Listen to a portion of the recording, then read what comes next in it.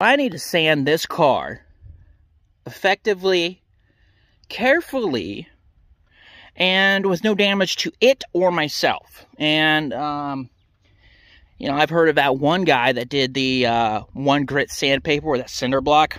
That's, come on, that's silly. But what, what I found better and safer than that is uh, a circular saw with a carbide titanium tip. Uh, however, this is just a regular, it's, it's just a regular wood blade, you know, okay. So, uh, this is going to be great. Let's, uh, let's see what happens.